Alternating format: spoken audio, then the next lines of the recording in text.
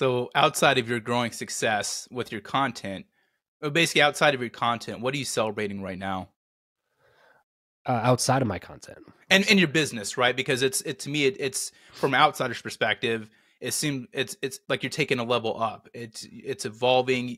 The, I mean, you're you're putting up podcasts. I don't know how many times a week, but it seems like two to three. You have the YouTube clips. You have the newsletters.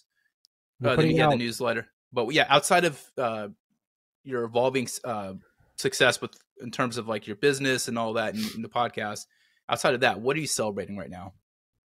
Uh, frankly, kind of the same answers before. It, I'm celebrating bringing on somebody to take a lot of my work off my plate.